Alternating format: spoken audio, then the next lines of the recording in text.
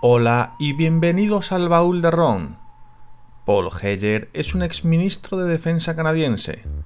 En 2005 protagonizó las portadas de los periódicos canadienses cuando anunció públicamente que creía en la existencia de los ovnis, pues incluso había visto uno.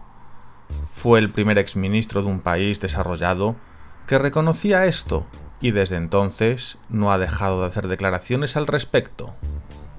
También ha afirmado públicamente que los legendarios Illuminati son reales y que secretamente manejan asuntos mundiales desde detrás de las cortinas. Se cree que Paul Heyer, exministro de Defensa, es el expolítico de más alto rango que salió como creyente de la teoría de esta conspiración popular. Paul Heyer también cree que varias especies de alienígenas inteligentes viven secretamente en la Tierra, y los líderes mundiales nos lo ocultan. De hecho, afirma que son extraterrestres los que han desarrollado una fuente de energía limpia y gratuita, que puede revertir el cambio climático.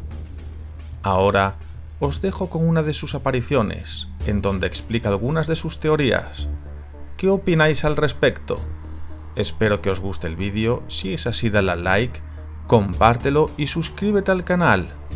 Gracias y un saludo desde el baúl de Ron.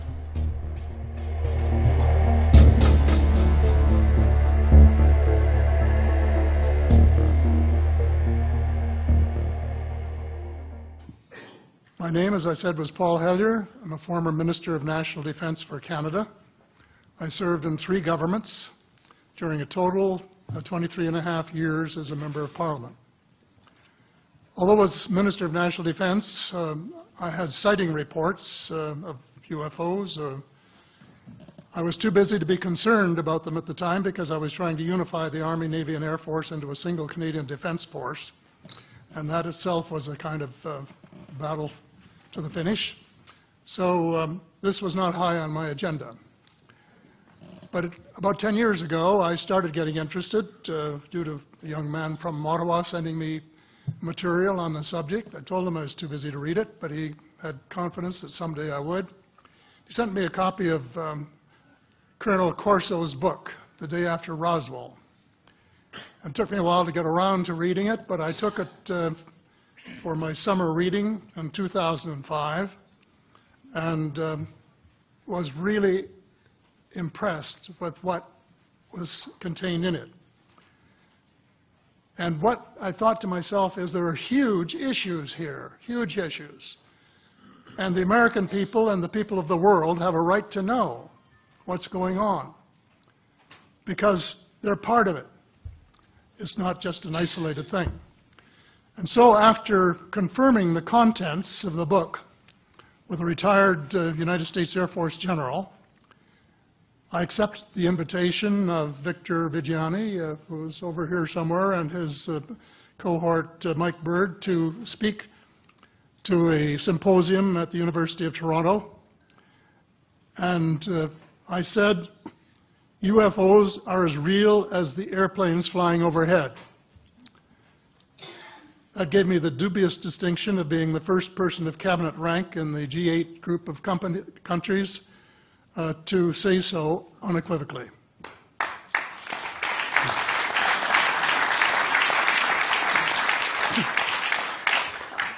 Since then, I've learned a lot from many sources, including a number of the fantastic witnesses that we have heard these last four days. They were so outstanding, I was just really blown away with them, uh, the amount of information that was available.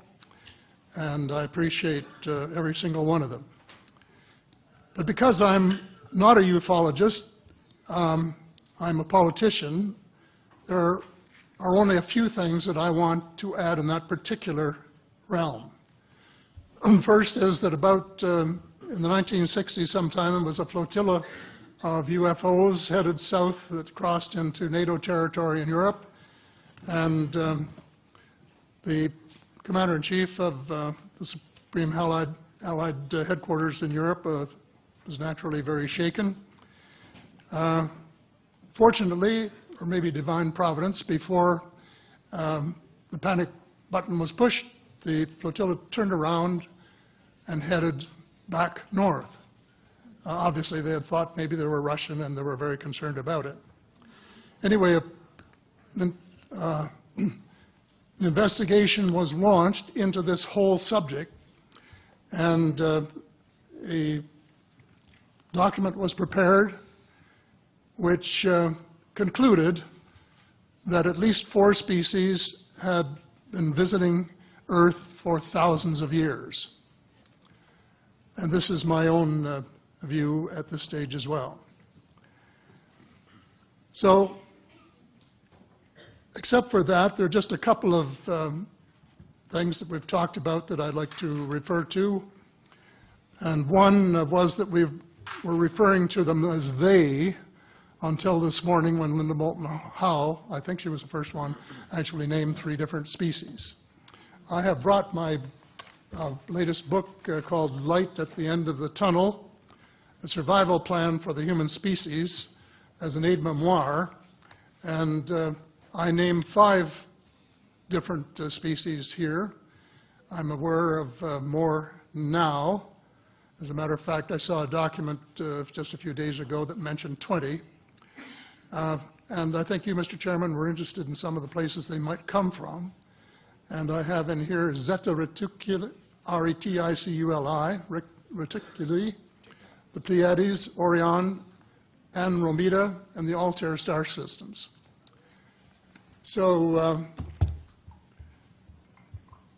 I don't think we can any more refer them to them as they because they're not an amorphous mass. They are different species and consequently may have different agendas. I don't think we can say that they all have the agen- same agenda any more than we could say that the United States, uh, China, and, uh, and Russia had the same ag- agenda. Our real interests may be very similar, but as of now, our perceived interests are still uh, quite far apart. One more observation before I begin what I want to say, and that is that we spent quite a bit of time talking about the 66-year-old cadavers. And I was glad to have Linda this morning finally say that there are live ETs on Earth at this present time, and um, at least two of them probably working with the United States government. I, the seventh, the other species that I learned about uh, not too long ago was called the tall whites. And uh, this is when Paola Harris uh, broke the story just a few years ago.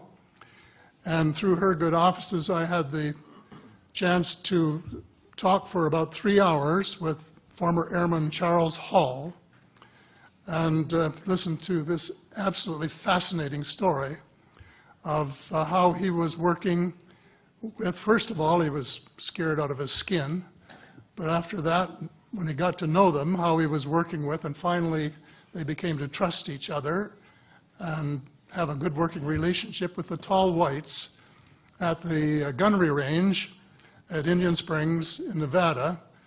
And these tall whites were living on United States Air Force property and working in cooperation with the United States Air Force and sharing technology with him. He wrote a book, incidentally, called Millennial Hospitality. There are four different versions, but uh, Paula says that uh, Millennial Hospitality, uh, number two, is the best. I think that's the one I read, and it's a, is a very interesting read uh, if you want to sort of get inside the, the problem of what it's like to bump into these people floating across the, uh, the terrain in the, in the desert.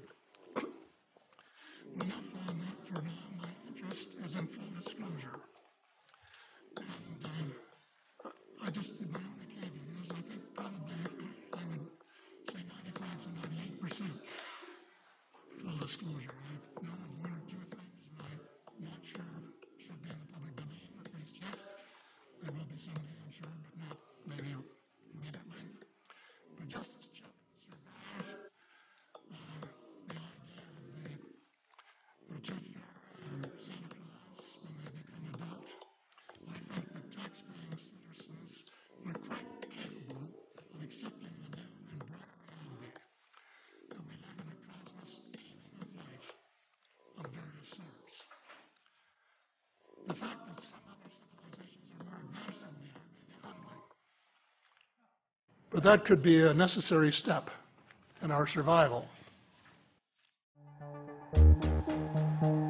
Thank you.